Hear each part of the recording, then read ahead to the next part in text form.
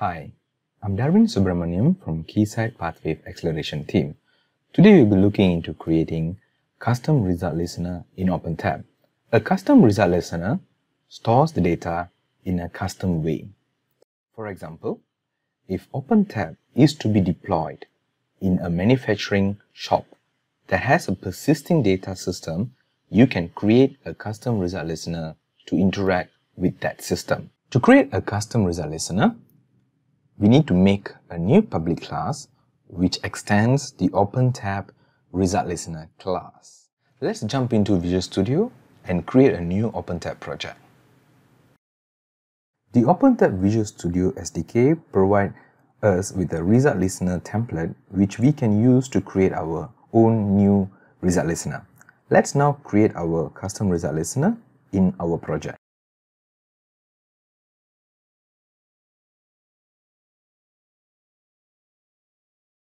The result listener class which we have just created have five virtual methods that are called during test plan execution. Implement only those that are needed for the specific result listener implementation. These methods are called by OpenTAP and are guaranteed to be called in certain order. On test plan run start method are called when the test plan starts and all resources has been opened, including result listeners. On test step run start, call for each tab when the step execution starts. On result published, call for each published result from the test step. This method is not called at all for test step which do not publish any results.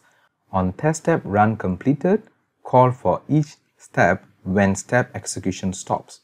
At, the, at this point, it is guaranteed that the test step does not publish more results.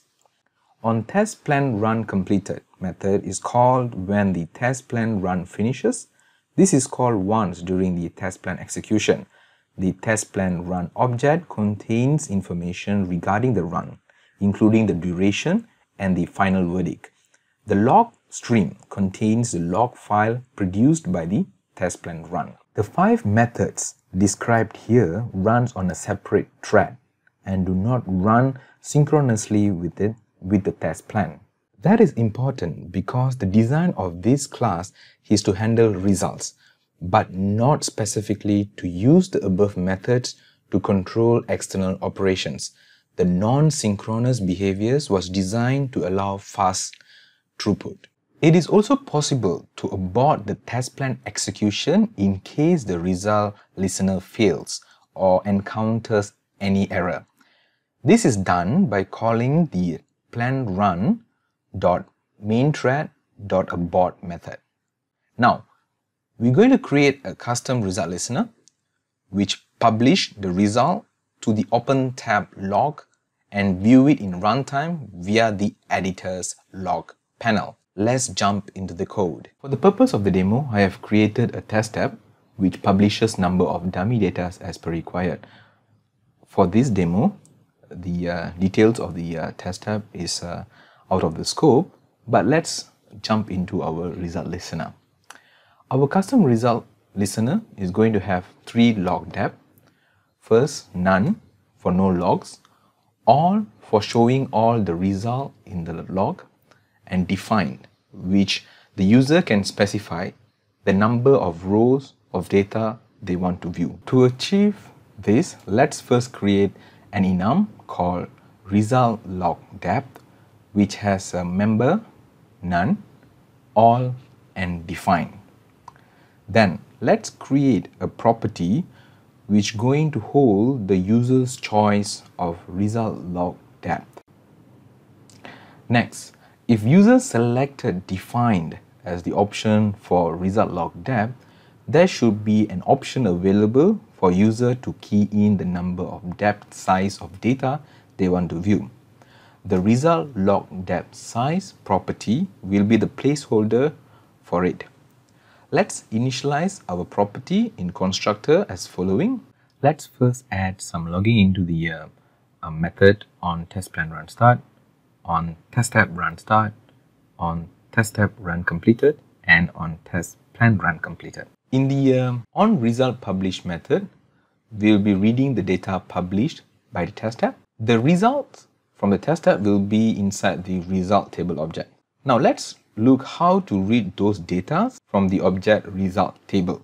In the scenario where the user selected result log depth to be none, we will exit the method. Next, we first find the max row count present in our result table. Let's write the method of max row count. Inside the max row count method, we are looping through the result column and count the total data present in each column using the uh, result column dot data dot len. The result column's data property is an array of data. So inside the for loop, we compare the previously known max row count with the current column's data row count using the uh, math max function. Our math row count method is now complete. Let's go back to the method on result publish. Right now, let's create a switch case and for the option none, our max row index can be zero. For the all option, we compare which is the bigger uh, out of our original max row index or zero and store the value back into the max row index property. And the last case is on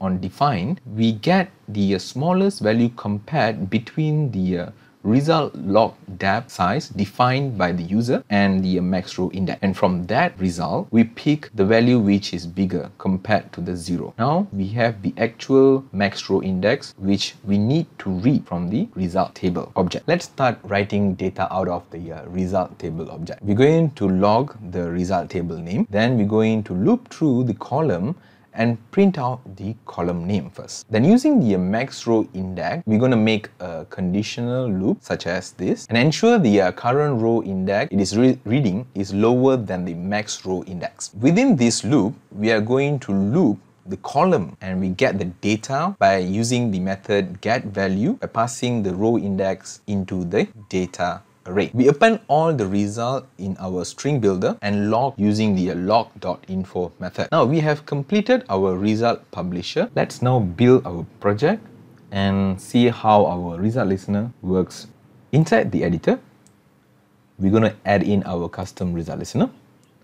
For now, let's leave the choice of result log depth to be defined and the uh, result log depth size to be 5. Next, let's add the uh, dummy test step. In the uh, test step setting, let's set the point count to be 20. So it means 20 random data will be produced. Let's run the test.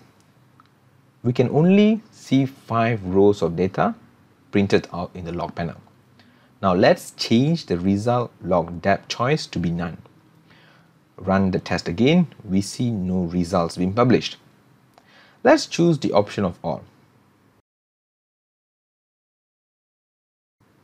We will see all the 20 data logged in the uh, log panel.